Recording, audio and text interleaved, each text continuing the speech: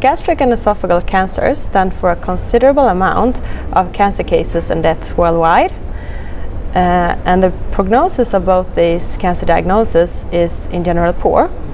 Uh, the addition of neoadjuvant and or adjuvant treatment has enhanced the survival among patients with resectable tumors, but there is still a great need to identify new treatment strategies and suitable biomarkers. Uh, and a new treatment that attracts a lot of interest today is immune checkpoint blockade. And this has shown promising results in the metastatic setting for EG cancer, but there, st there is still a great need to find suitable predictive biomarkers of response to such therapies, and also their prognostic value in EG cancer remains unclear.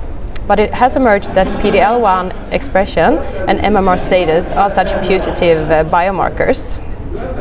So therefore the aim of this study was to examine the prognostic value of PD-L1 expression in tumor cells and tumor infiltrating immune cells and the expression of the receptor PD-1 on tumor infiltrating immune cells and MMR status uh, in chemoradiotherapy naive esophageal and gastric adenocarcinoma.